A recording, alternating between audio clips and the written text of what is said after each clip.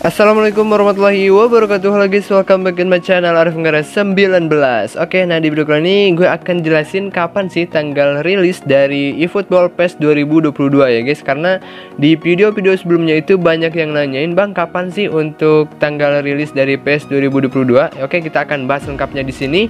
Terus kalian jangan skip-skip aja untuk video ini Karena takutnya kalian e, bisa mendapatkan informasi yang salah paham nantinya kayak gitu guys. Oke langsung saja tapi sebelumnya buat kalian yang belum belum subscribe channel jangan lupa untuk subscribe dulu karena di sini gue bagiin info update tips bermain dan juga trik dapetin pemain guys. Oke.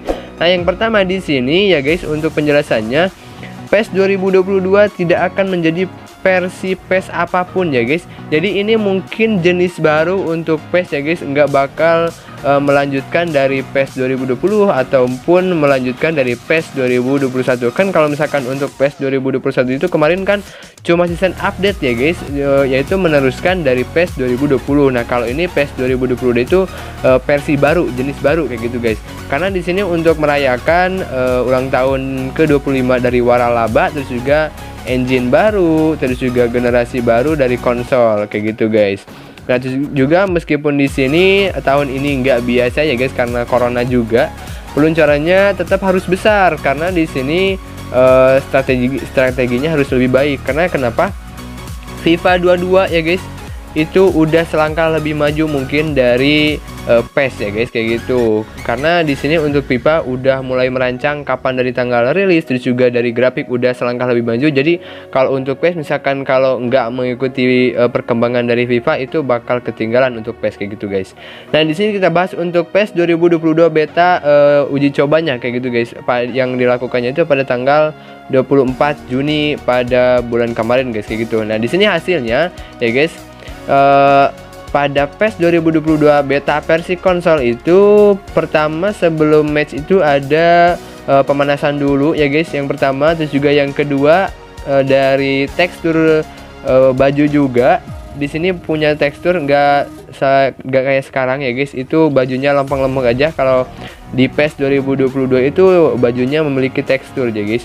Nah terus juga di sini dari fisik juga ketika lari ya guys di sini ketika kaki menginjak ke rumput itu si kaki bisa melipat guys kayak gitu. Nah di sini juga ketika ngangkat juga bisa melipat. Nah kalau yang sekarang itu ya guys e, masih lempeng-lempeng aja ketika lari kayak gitu guys. Dan lain-lain itu dari segi fisik ya pasti ada perubahan.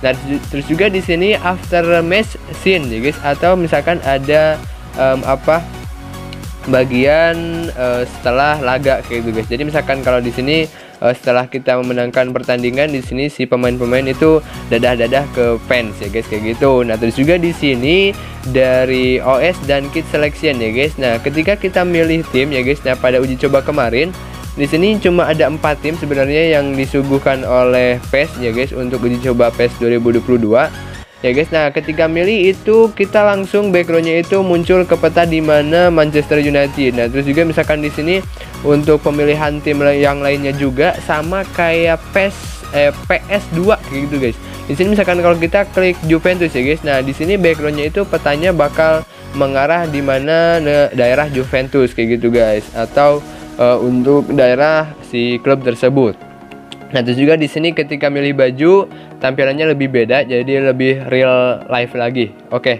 Nah, terus juga di sini ada untuk tampilan fans sama uh, tim penyelamat ada juga kayak gitu guys. Nah, kalau untuk wasit belum ada informasi guys kayak gitu ya. Semoga bisa ada aja ya guys, nggak hadir wasitnya itu nggak ketika ngasih kartu doang kayak gitu guys.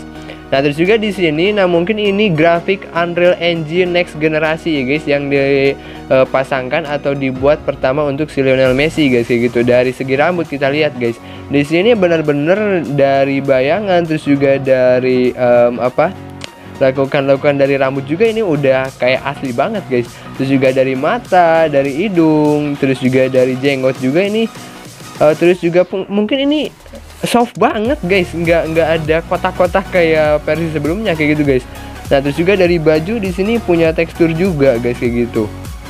Pokoknya ini mantap banget untuk Unreal next generasi, tapi mungkin kayaknya ini disuguhkan untuk versi konsol dulu. Kalau misalkan disuguhkan langsung untuk versi mobile itu uh, takutnya uh, apa terlalu kencang kayak gitu guys. Jadi misalkan kalau bisa aja misalkan dimasukkan ke versi mobile, tapi pasti ukurannya lebih gede guys kayak gitu. Nah, terus juga di sini ini dari berbagai tampilan ya guys untuk uh, Messi dengan Unreal Engine guys. Nah, terus juga di sini kalau untuk FIFA ya guys karena nah kenapa di sini sebabnya PES mengeluarkan uh, Unreal Engine next generasi karena di sini FIFA udah selangkah lebih maju. Nah, di sini ada Ronaldo dengan versi apa? Eh, real life-nya. Nah, terus juga di sini untuk versi FIFA-nya dari wajah juga udah hampir mirip dari rambut sampai ke nah di sini badannya yang terpenting guys. Dari di sini urat-urat dari otot si Ronaldo juga udah tampil guys. Terus juga di sini otot dari perut juga hampir sama kayak real life banget kayak gitu guys. Ya kan dari bentukannya terus juga dari otot tangan pokoknya dari uh, kepala sampai kaki ini hampir mirip semua guys. Hampir mau real life ya guys jadi untuk Konami juga nggak bakal kalah ya guys kalau misalkan nggak update kayak gini Konami ya PS-nya bakal nggak laku karena semuanya pada pindah ke pipa nah terus juga di sini kita bahas untuk tanggal rilis nah mungkin ini yang ditunggu-tunggu nah misalkan kalau di sini berdasarkan history ya guys kalau untuk peluncuran PS itu nggak bakal jauh dari bulan September, Agustus, September ya guys. Nah di sini dari PS 2018, 19 sampai PS 2020. Dan terus juga pada PES 2021 kemarin season update itu pada tanggal 15 September juga. Jadi kemungkinan nggak bakal jauh dari bulan September sama Agustus kayak gitu guys.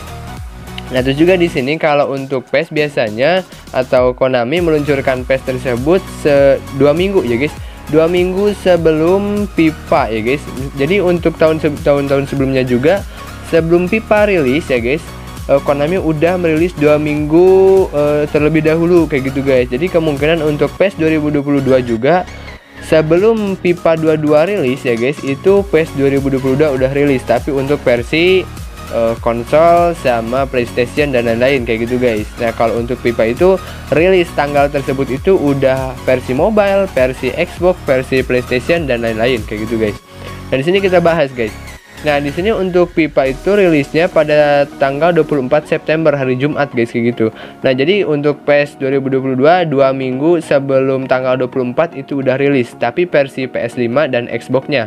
Kayak gitu guys. Nah, kalau untuk pipa itu semua format udah keluar. Kalau untuk PS itu baru PS PS5 sama Xbox uh, sama PC juga ya guys dan kalau untuk versi mobilenya kalau untuk PES 2022 itu mungkin uh, beberapa minggu berselang baru bisa uh, rilis kayak gitu guys. Itu untuk versi mobilenya.